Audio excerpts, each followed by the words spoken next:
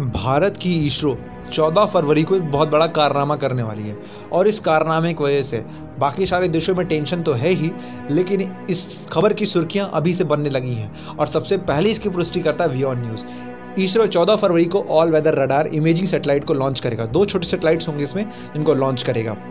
और मैं आपको बता दूँ छः महीने के अंतराल और बीच में ही कि रॉकेट लॉन्च गतिविधि को फिर शुरू करने के निशान में भारतीय अंतरिक्ष अनुसंधान संगठन ने वर्ष 2022 के अपने पहले लॉन्च एक P S L V rocket की घोषणा कर दी है। ध्रुवी पर, उपग्रह प्रक्षेपण यान जिसे इसरो का सबसे विश्वसनीय और बहुत ताकतवर और सिद्ध रॉकेट माना जाता है, सोमवार 14 फरवरी को सुबह पाँच बजकर उनसठ मिनट पर ये तीन उपग्रह को प्रक्षेपित करने वाला है। हालाँकि ये ध्यान दिया जाना चाहिए कि ये सटीक लॉन्च समय मौसम की स्थिति के अधीन हो, क्योंकि अभी मौसम भारत में थोड़ा सा ज़्यादा खराब चल रहा है। यह मौसम P S L V C fifty two एक पृथ्वी अवलोकन उपग्रह है, जिसको ई ओ एस फोर को लॉन्च करेगा, जिसका वज़न 1710 किलोग्राम, जो कि पाँच सौ उनतीस किलोग्राम की सूर्य तुल्यकालिक ध्रुवी कक्षा में है।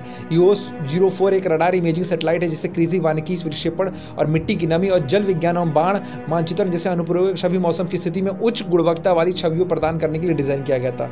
और इसके लिए एक ट्वीट भी आया हुआ है, आप ये देख सकते हैं। और इस ट्वीट को सिद्धार्थ कुछ करके हैं और उन्होंने ट्वीट करके सारी चीज़ की जानकारी दी थी और इसरो के अनुसार रॉकेट के दो छोटे उपग्रहों की शाह यात्रियों के रूप में भी ले जाएगा, जिसमें कोलोराइडो विश्वविद्यालय बोल्डर में वायुमंडली और अंतरिक्ष भौतिक की प्रयोगशाला के सहयोग से भारतीय अंतरिक्ष विमान और प्रौद्योगिकी संस्थान आई ने से एक छात्र उपग्रह इंस्पायर एस ने एक प्रौद्योगिकी प्रदर्शन उपग्रह आई एन एस टू शामिल है। इसरो जो कि भारत भूटान संयुक्त उपग्रह I N S two B का भी अग्रदूत है। इसरो ने कहा है कि प्रक्षेपण के लिए 25 घंटे और 30 मिनट की उल्टी गिनती प्रक्रिया 13 फरवरी 2022 को चार बज के उनतीस मिनट पर शुरू होगी। लॉन्च प्रतिकरण बोर्ड द्वारा, प्रतिकरण के बाद इसरो ने एक चीज़ और भी कही कि ध्यान रखने महत्वपूर्ण है कि 2022 ईश्वर के लिए एक व्यस्त वर्ष है। इस कैलेंडर वर्ष में 19 मिशनों की योजना बनाई गई, जिसमें आठ प्रक्षेपण यान, रॉकेट्स मिशन हैं, जिसमें और इसमें सात उपग्रह यान मतलब अंतरिक्ष यान होंगे।